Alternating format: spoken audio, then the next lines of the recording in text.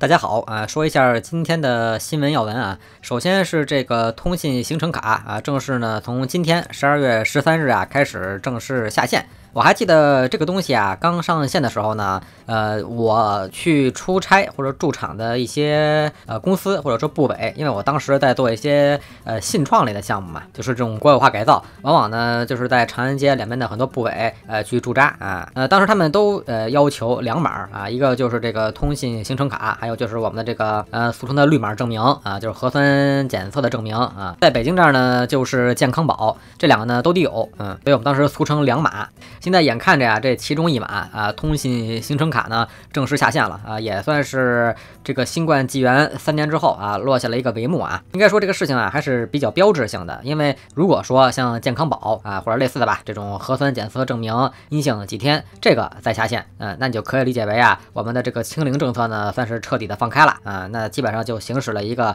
你说是呃放开放也好啊，躺平也好啊，共存也好，就是等于。实行了这么一个政策，当然现在来说呢，像北京这边的一些堂食啊什么的，还是要求你登记一下。理论来说呢是四十八小时，但是查的其实也不严了啊，因为大家都知道嘛，这个政策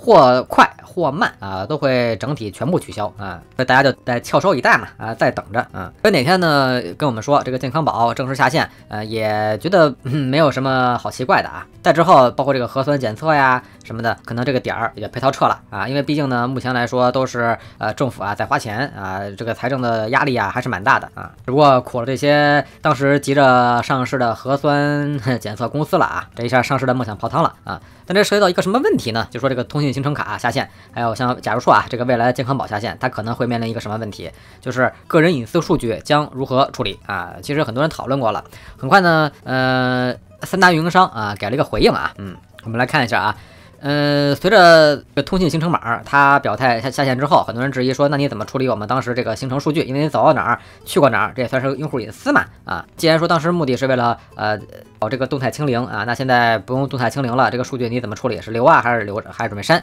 嗯，这个中国电信啊，中国联通、中国移动呢三大运营商，因为它这个都是这三大三大运营商自己开发的嘛，它需要你的 GPS 啊、相关定位什么的啊。他说三大运营商呢均表示将按照有关法律规定啊，自十二月十三日零时啊，就是现在啊，嗯，通信行程卡服务下线后，同步删除用户行程相关数据啊，依法保障个人信息安全啊，就是你不用担心，嗯啊，说我不但删数据，包括这个通信行程卡的附属的短信、网页、微信小程序、支付宝小程序、APP 等查询渠道呢将同步下线啊，那我这个。老竹呢，可能从我的手机里啊，也可以把它正式删掉了啊。嗯，看看评论区啊，说结束也是开始，大家坚持下去，一定能越过越好啊。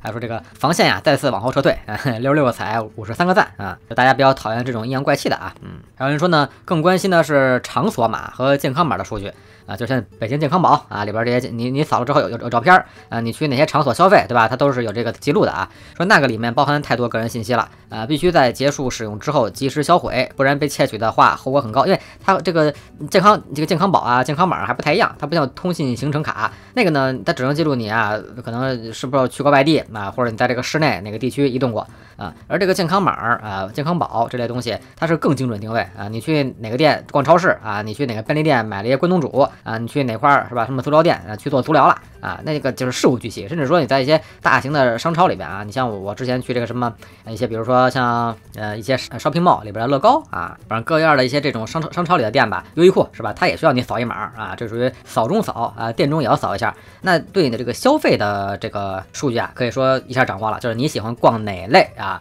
这些商店啊，一下你的人物画像啊就画齐了啊。这个其实确实啊有很多商业数据啊，不知道最后这个三大运营商会不会有人啊冒这个风。险把这个数据卖出去，我个人感觉是有极大可能的，真的，我个人感觉是有极大可能的啊，早晚可能要流出一份呵呵，有人会冒着判刑的风险啊给你卖了，真的，你相信我啊，嗯，好吧，然后再看另外一个新闻，是这个宁波、宁夏呢等多地啊推出教师退出机制啊，就是事业单位，嗯，这个饭碗啊，过去叫叫铁饭碗，铁饭碗吧啊，虽然轮不上金饭碗，像公务员，但是这个呃事业单位也算是铁饭碗啊。说这意味着啊，是否打破了终身教职啊？这对中小学老师呢会产生哪些影响啊？嗯，好吧，这是浙江省宁波市教育局的一个征求意见啊，引起关注。至于说这个征求意见最后会不会通过啊？我觉得大概率啊会通过，因为你知道去反对呢，可能呃意义啊也不会特别大啊，甚至有很多人会期盼着啊这个能通过。嗯，根据意见稿呢，教书退教师的退出渠道啊，包括待岗、转岗、离岗、退养、解聘等等啊，那那基本上就和市场化差不多了啊。嗯。说什么情况待岗岗，说包括聘期满后啊未能继续啊聘任上岗的。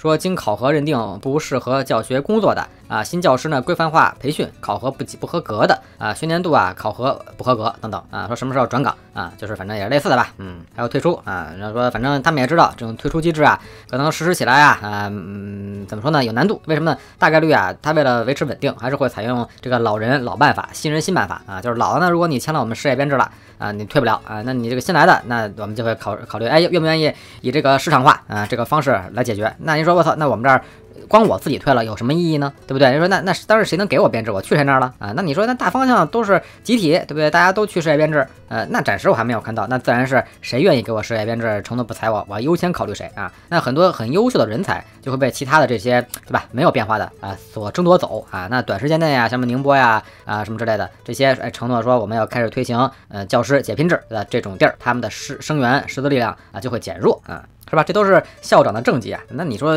谁谁谁敢动自己的这个蛋糕呢？嗯。然后再看另外一个新闻啊，是石油人民币结算呢，呃，有了一些新突破啊，就是阿拉伯国家加入了人民币朋友圈啊。它知乎的问题呢是会对国际原油市场啊有哪些影响啊？这是在首届中国啊海湾阿拉伯国家合作委员会峰会上。呃，算是一个中方宣布的重磅消息啊，说未来三到五年将继续从海合会国家扩大进口石油、液化天然气啊，加强油气开发、清洁、低碳能源技术合作等等啊。这个其实讨论不多啊，看了一篇公众号文章啊，呃，他去分析了这个相关协议，我也懒得去翻原文了。他说到目前为止，没有任何迹象表明啊，阿拉伯国家呢决定放弃美元。嗯，就是说这么说吧，嗯，同样买石油，过去呢，反正现在也是啊，你是用美元美刀直接买。呃，但是按照国内的可能某些自媒体的说法，他就会说，哎，这是阿阿拉伯国阿拉伯国家站队了啊，他们支持用人民币啊，不用你美元了啊，其实并不是。嗯，那就是说呢，其实人家该用美元还用，只是说呢，哎，人民币啊是作为一个可选项啊，好吧，或者分析了一下说，第二啊，这个石油美元呀是美元嗯霸权的重要基础嘛，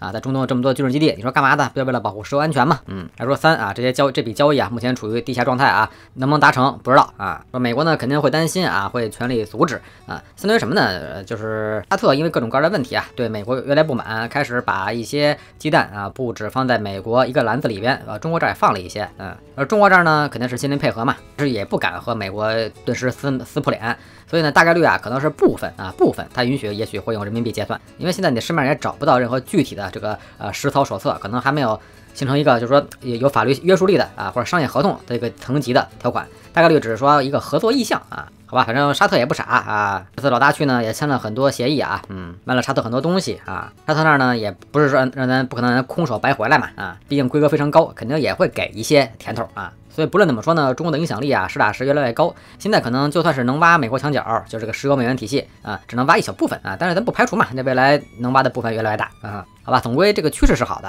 嗯，行，今天的新闻说这里，喜欢的话呢，欢迎点赞、收藏、订阅啊，点小铃铛，谢谢大家。